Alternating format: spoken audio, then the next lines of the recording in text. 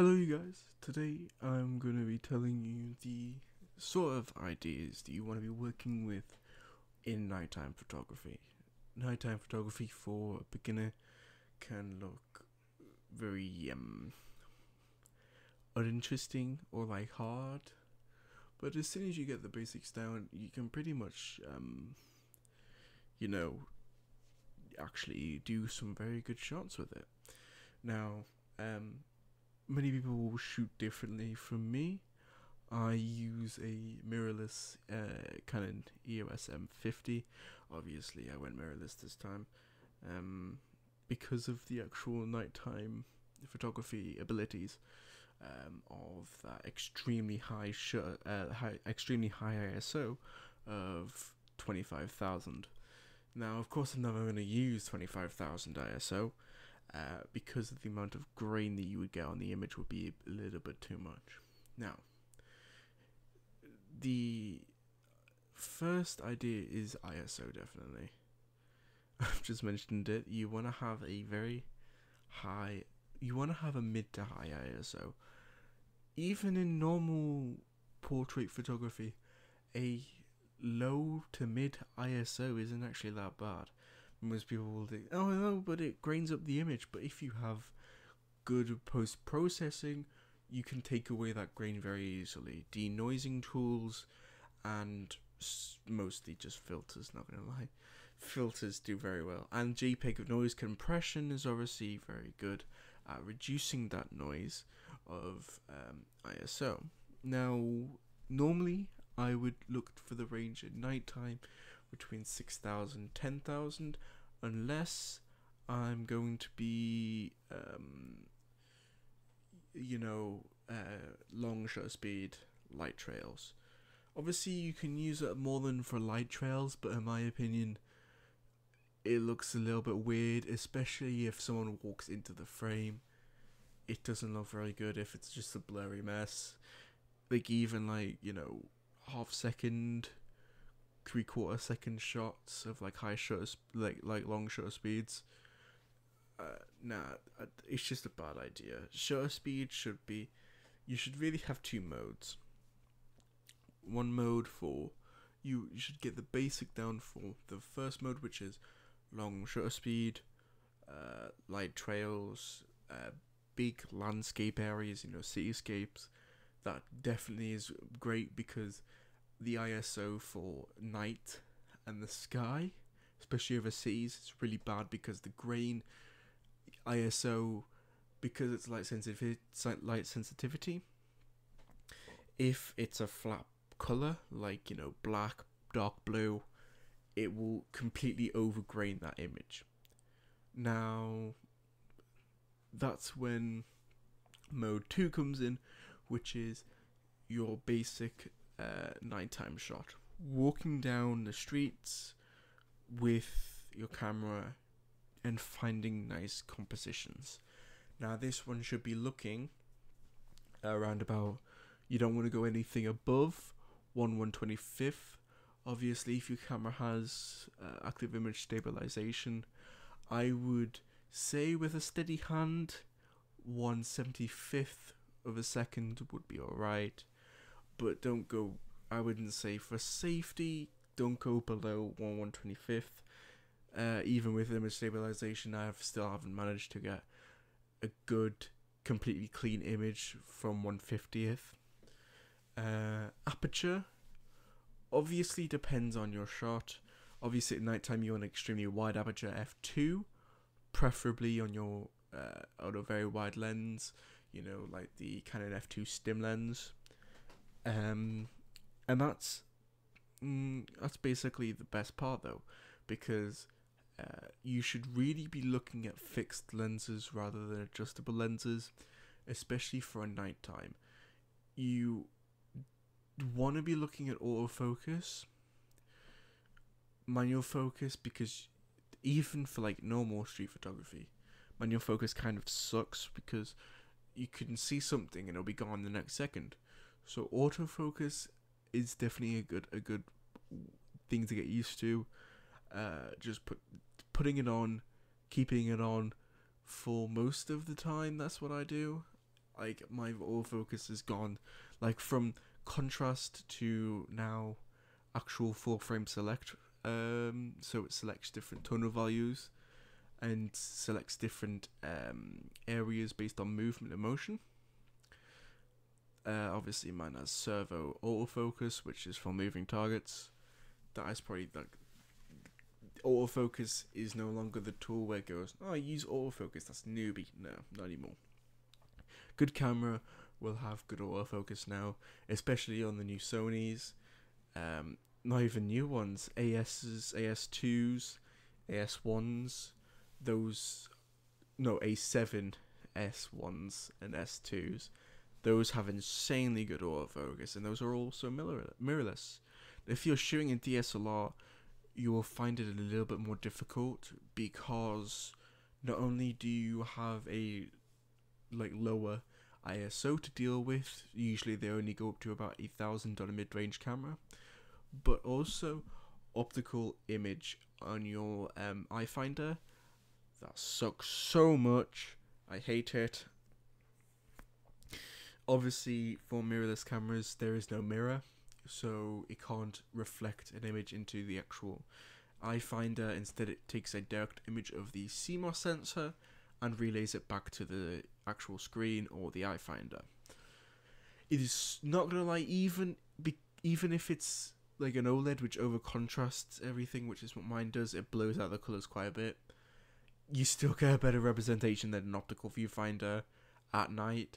Optical viewfinder at night absolutely sucks because you you look through the eye finder and you will see like oh yeah this is really bright and then you'll go to your your photo later and it'll be like like nothing. it'll be black with a little bit of like white edges on it because you didn't adjust correctly. All you saw was the raw direct image from the actual uh, mirror in your camera. Now, picking your times is definitely one of the best things you could do. Don't pick your times if you want to. If you're a beginner, don't pick times which are like you know where people go to the pub, especially up here in Newcastle. Uh, don't don't don't go with times then. You will not only will you have a higher chance of, you know, being, um, like it bumped into like, oh you mate, what are you doing, man? You can't take photos out here. But um, also the risk of your gear being stolen, the risk of um, getting a bad shot because of a random stranger walking into the middle of your camera is a lot higher. Now, obviously, if you're looking for a bit of bustling, go between those times. Don't feel afraid, but I would definitely remain wary of other people, especially stupid people who get drunk. Like not being like people or people who get drunk are stupid, but some people are very extremely stupid when they're drunk like driving. Um, but choose your times wisely. Um, obviously, with the pandemic on, you can't really choose your times wisely because basically all city centres are deserted now. I I did a photo shoot a couple of weeks ago, and there was like all of the restaurants, everything was just empty. Even Grey's Monument, um, in the centre of Newcastle near Northumberland Street. That thing was empty. No one was like I saw like three people, and so yeah, yeah. I I recommend getting out now before the pandemic finishes because after that you're gonna get a lot more drunk people. Yep, especially after Fourth of July. Yeah, that sucks. Now, the next step is obviously choosing your gear tripod always always bring a tripod you never know when you're going to find a nice spot a nice quiet spot for a long shutter speed moment don't have it out all the time. It sucks carrying a tripod. Um unless obviously you bring a friend along. I would definitely recommend bringing someone along. Uh, obviously if you get into like trouble with police which most people do now obviously they can't really do it as often now because of the terror, terrorism act. Uh, section 43 and section 40 were repealed for photography. So they can't really stop you anymore. They can't stop you anyway for public photography, but they still stop you anyway. Um, so I recommend going out in pairs, stop people from getting in your way, stop people from being annoying, just general stupid people. Um, but definitely bring your tripod, monopod. Even the monopod, monopod could. I I don't really see the point of a monopod, but for some styles of, uh, city street, uh, looking down at an area, monopod would definitely be useful. They're about you can get them for about fifteen pound now, which is great. You know, you get a nice stainless steel aluminium one for about fifteen pounds, and also a filter. Do not forget your either your UV filter UV filter if you're doing very lit up areas. Uh, definitely useful. Uh, for me, I have a polarizer filter, obviously for increasing that color, increasing that depth. But just don't don't run out with no filter because you'll end up yes you'll end up very nice flat photos, but for nighttime photography you want very depth fulfilling photos, which aren't very, you know, flat. Obviously, you can do it later in post processing, but trying to do that kind of sucks. Now, my last sort of idea would definitely be your style. All of the styles of nighttime photography have basically been fulfilled by now. If you want to try and go out with your own style, yes, but that is like s- slightly evading the concept of nighttime photography. Nighttime photography is expressing how your area looks at nighttime. Now, obviously, some different photographers will have some sort of different ideas for this, but not really. Like, you should be looking at what kind of photos express your area, express your personality, express your ideas. Uh, can you take at night? Obviously, you choose. I would likely choose a sort of idea like, oh yeah, I'm going to take some light trails tonight. Oh yeah, I'm going to take some city street portraits, landscapes tonight. Oh yeah, I'm going to be doing a uh, model in the city streets tonight. Oh yeah, I'm going to do bokeh tonight. I would choose a technique and stick with that technique. Obviously, you can throw in a couple more like landscape photos, portrait photos, uh, things, but try and stick with that technique. Of otherwise, you'll be going all over the place. You'll be uh, grabbing your tripod, trying to get that sh- long shutter speed of a busy car. You'll try take it off, try swapping, your settings around, trying to get your entire ISO down, uh, and trying to get your shutter speed down, trying to get your ISO up, trying to get your ISO down, trying to get your aperture down, trying to get aperture up. It's a mess.